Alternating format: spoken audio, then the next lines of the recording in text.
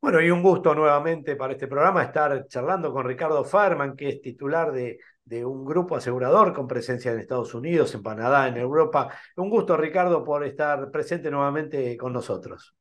Muchas gracias, muchas gracias. Para mí también es un gusto.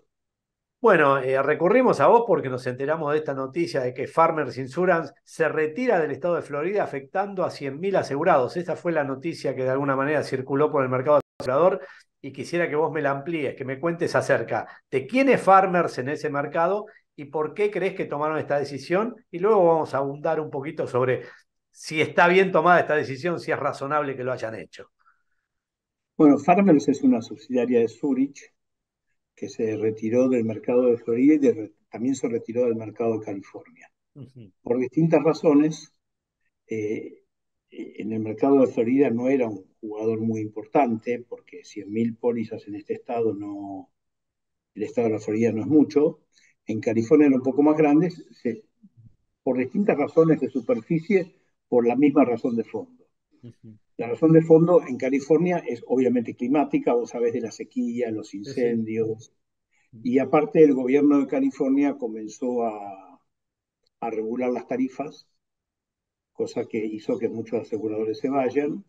Y en el caso de la Florida hay dos razones. Una es la parte climática, que eh, yo no quiero usar el término calentamiento global porque eso me haría parecer que yo quiero pretender ser un experto en el tema. La realidad es que la actividad de tormentas es mucho mayor en este momento que antes. Eh, yo tenía acá anotado el huracán Ian en el 2000, que el huracán Ian no pasó por la costa este, sino por la costa oeste. Oeste, claro.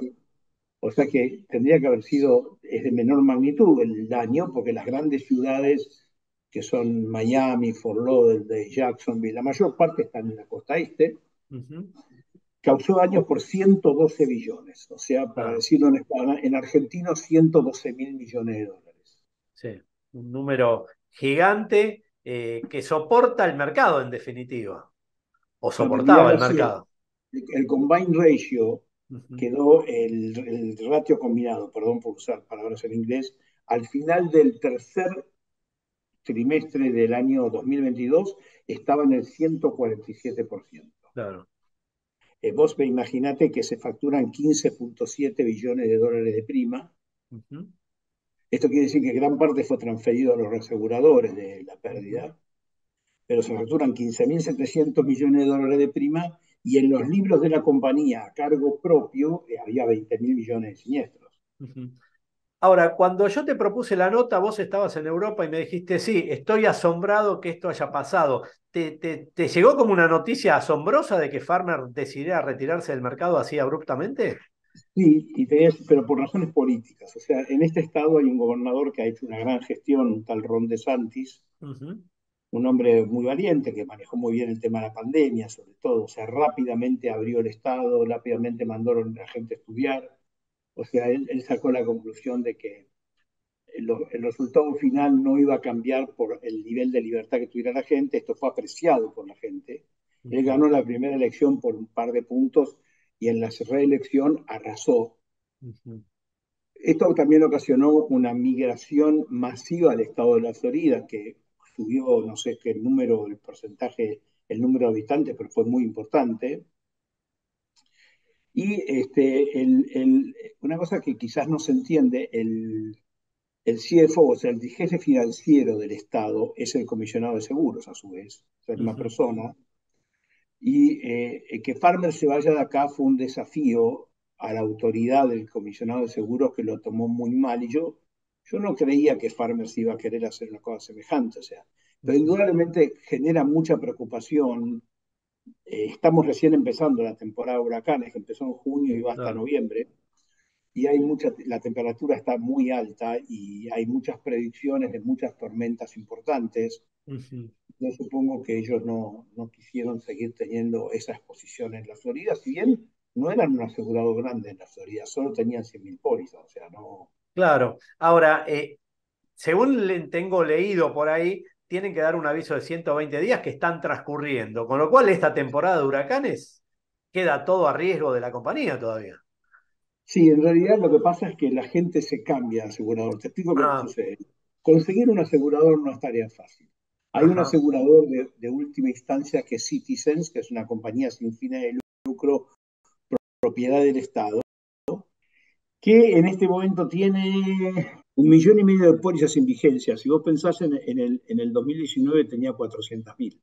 Ajá, o sea que eh, hay un vuelo hacia esa compañía. Claro, que es la compañía del Estado, pero el Estado no quiere que la compañía, el Estado quiere que la compañía sea de última instancia. Claro. Yo tenía acá anotado algunos datos. Eh, la, compañía ahora tiene, te estaba diciendo yo, 400, un millón y medio de pólizas en vigencia, tiene 18% market share. Ahora, los costos de, de Citizens son 40% menores que los del Estado, pero en caso de que tenga pérdidas, existe lo que se llama eh, el impuesto al seguro de Citizens, que se reparten entre toda la gente del Estado. Quiere decir que tiene una... Una contribución a la pérdida. Una contribución a la pérdida obligatoria, sea o no asegurado de Citizens. Claro. Sí, sí. Entonces, el Estado no quiere eso. El Estado quiere que Citizens vuelva a ser una compañía que solo asegura los inasegurables. Claro. Que era lo que, lo que, históricamente hacía. Ahora, vos me decías de los 120 días de Zurich.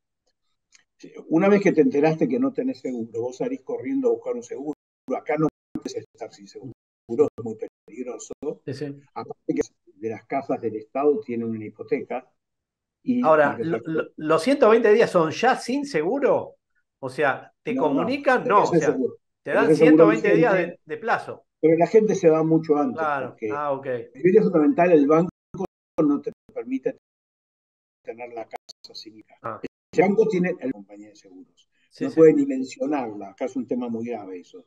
Pero eh, eh, eh, te obliga a tener un seguro. Entonces, yo te diría 70-80% de la gente tiene hipoteca y tienen que salir rapidísimo a buscar la constitución. Es lo que seguramente la gente empezó a hacer automáticamente que la nota. Claro, con lo cual eso no dura 120 días. Yo supongo que rápidamente se extingue la cartera de farmers y se transfiere a las aseguradoras que todavía trabajan en el Estado, ¿no? Pero no es fácil conseguir una póliza de seguros y la mayor parte de la gente que se queda sin seguros se va a, Así es. Por ahí leía que 6.000, la media norteamericana es 1.700 y que tuvo un aumento del 42% con respecto a 2021, o sea que evidentemente no la pasa bien aquel que quiere asegurar una vivienda en, el estado de Florida. estamos hablando de casas, no, no de condominios. Sí, sí. Si bien acá la gente vive en casas, yo estaba en 6.000, yo creo que está más cerca de 8.000 ¡Apa! más, alto todavía más altos. Y yo creo que ese número de 6.000 está un poquito anti, es un poquito antiguo, ¿no? Eh, hay, hay, un elemento importante, las tarifas el año que viene van a bajar. ¿Por qué? Porque hay una, una reforma eh, integral del tema litigiosidad contra las compañías de seguros por siniestros ocurridos en las casas. Eh, y esa reforma todavía no se siente en los libros de las compañías, pero el año que viene se mucho. Quiere decir que una gran parte de la siniestralidad se... hablamos de eso, me acuerdo, en otra charla contigo, creo que fue la última, donde hablamos de las demandas por techos y daños eh, por vientos y huracanes a los techos. Era ese, ese es el caso, ¿no? Claro, el, asunto es así. La ley permitía que el propio propietario de la casa le ceda sus derechos. Eh, Entonces el proveedor el constructor de techos lo que hacía era iniciar una demanda contra la compañía de seguros mayormente injustificada, diciéndole que el techo tal estaba roto y que había que arreglarlo, y son reparaciones grandes.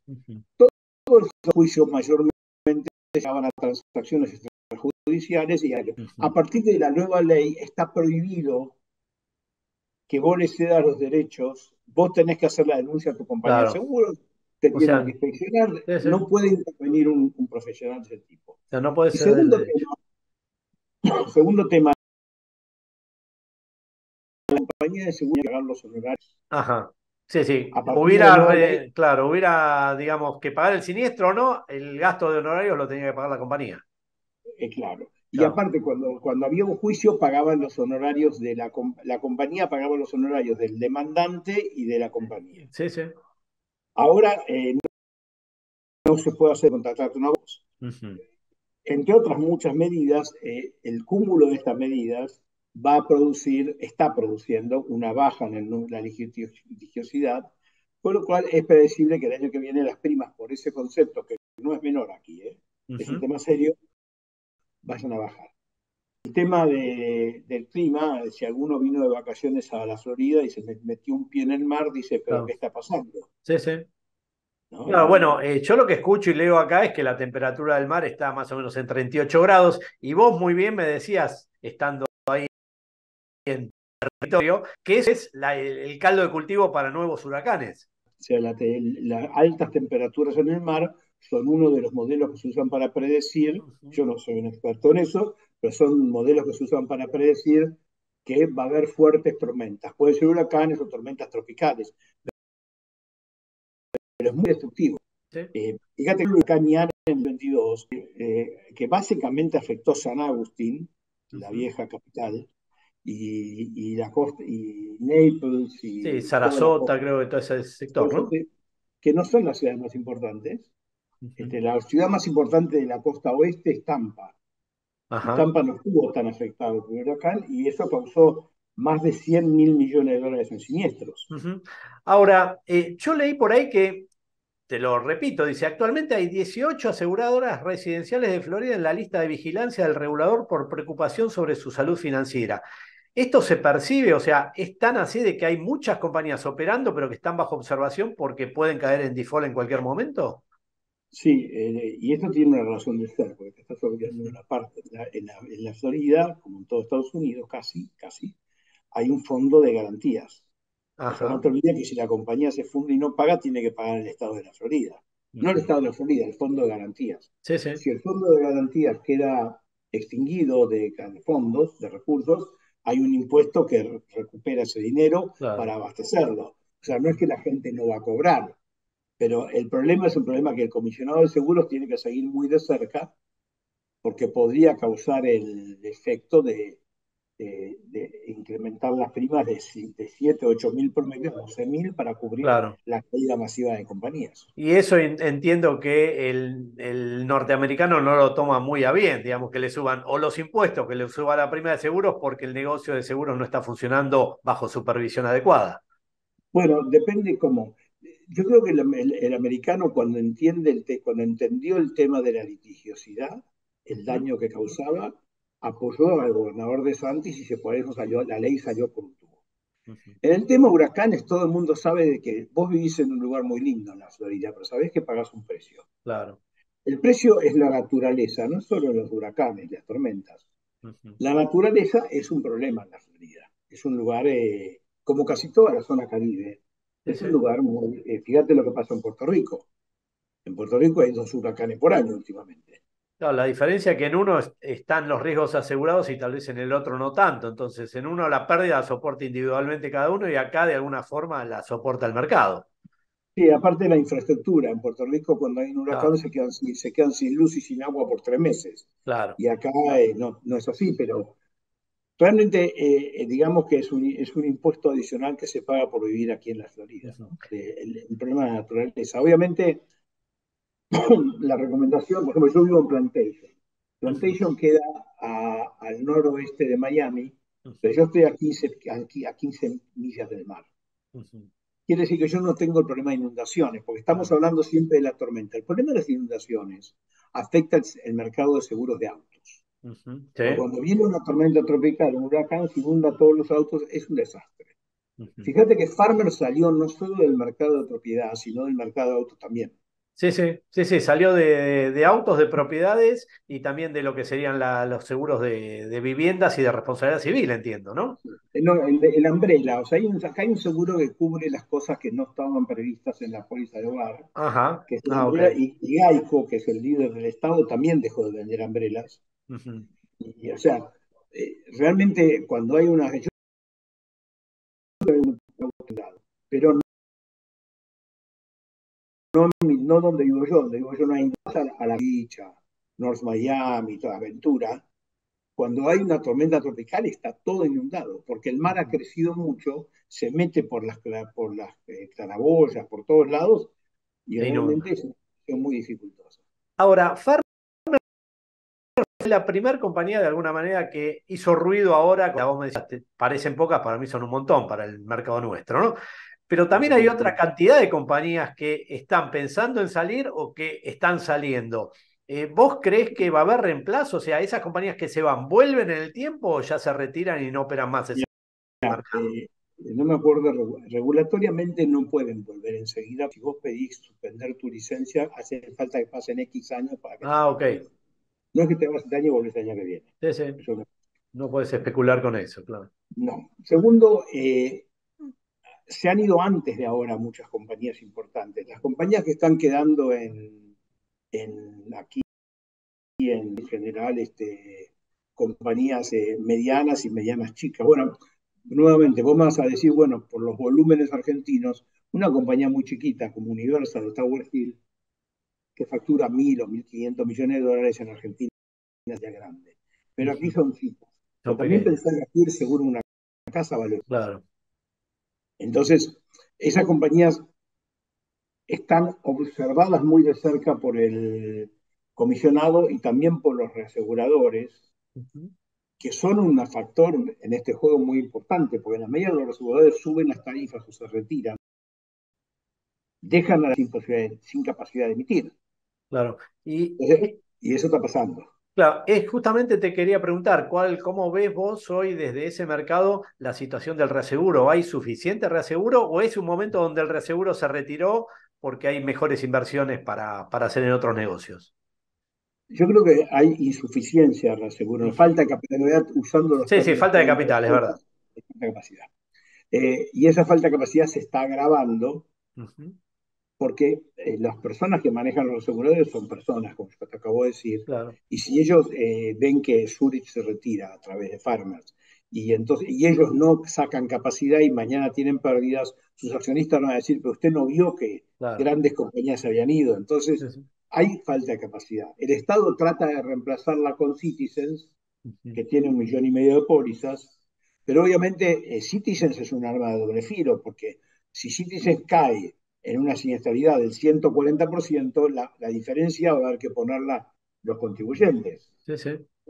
Eh, ¿Vos tenés más o menos una idea de cuál es la media de siniestros cuando viene un huracán como este? O sea, estos 112 mil millones de dólares que me decís que costó el huracán Yang, más o menos en promedio, ¿cuánto fue por vivienda o por eh, afectado? Para tener una magnitud de lo que paga el afectado, es decir, yo pago, no sé, 6 mil o 8 mil dólares por año por mi vivienda, pero cuando vino el huracán Ian, ese siniestro me costó, no sé, 200 mil o 300 mil o 500 mil dólares. Es una buena pregunta. O sea, es que analizando el tema más de cerca, de cuál es el promedio de siniestralidad, aparece nuevamente el tema litigiosidad. Claro. Entonces, yo creo que el, siniestro a lo mejor promedio debe estar entre 35 y 50 mil dólares. Se te voló un techo, te entró agua, te inundó las cosas, qué sé yo. Pero después eh, eh, hay un gran periodo de silencio por la incapacidad del mercado de responder rápidamente a las necesidades de la gente. Empieza la litigiosidad y ya la demanda no es por 35-50, sino por 150. Claro. Es muy difícil tener ese dato con Claro, sí, sí, es como cuando en un accidente de tránsito se cuentan los muertos que fallecieron en el accidente y los que mueren tal vez 24, 48 horas después, producto de ese accidente. O sea, acá es casi lo mismo, digamos. Tenemos el, el episodio primero y después lo, la litigiosidad que sigue a, la atención del un abogado, un abogado de una compañía de seguros muy conocido acá, que vive en, en, en Port San Lucie. Eh, cuando fue el huracán, eh, su casa es muy grande, se inundó todo. El huracán no le pegó directo, pero se inundó. Cuando se inundó, él tuvo que refugiarse en el altillo de la casa con su esposa y abajo, en el comedor, había eh, vida silvestre marina, había tiburones, peces. Ah, un acuario. Un acuario, sí, un acuario peligroso, porque había, Entonces el tipo estaba ahí arriba llamando por teléfono que lo venga a ayudar en la, la gendarmería, bueno, el borde patrol o, la gente que se dedica a rescates, y tardaron como 20 horas en llegar. Eh, porque era imposible llegar al nivel de inundación que había, hasta que lo pudieron sacar fueron como 18 o 20 horas. Su casa eh, estructuralmente no quedó dañada, pero eh, para poder secarla del agua se arruinó todo el contenido, todo el contenido, se, eh, se, se, arruinaron todas las paredes por el moho, el piso hubo que cambiar por el moho, y fue el costo de eso fue casi una pérdida total de la casa. De la vivienda. y, no es que le pegó el huracán frontalmente, sino que se inundó. Claro, es consecuencial. Bueno, Ricardo, eh, ha sido un gusto para mí nuevamente. A mí siempre me gusta charlar con vos porque me traes eh, noticias de un mercado que no conozco en suficiencia y aparte lo haces eh, didácticamente, con lo cual me da mucho gusto charlar contigo. Así que bueno, no esperemos que pase un huracán, que sea, tal vez te vuelva a molestar en poco tiempo para charlar algún otra, otro tema que afecte ese mercado. Y es más, tal vez te pregunte me decías que hay muchos argentinos ahora viviendo ahí, que se multiplicó esa colonia argentina y tal vez la próxima nota la podamos hacer sobre cómo se comportan los, los argentinos al momento de contratar seguros en, en, esa plaza y cómo se comportan en general conduciendo. Así que te lo dejo como investigación para la próxima. Y como siempre, un gusto y gracias eh, por estos minutos que nos brindaste. Gracias por todo. Hasta luego.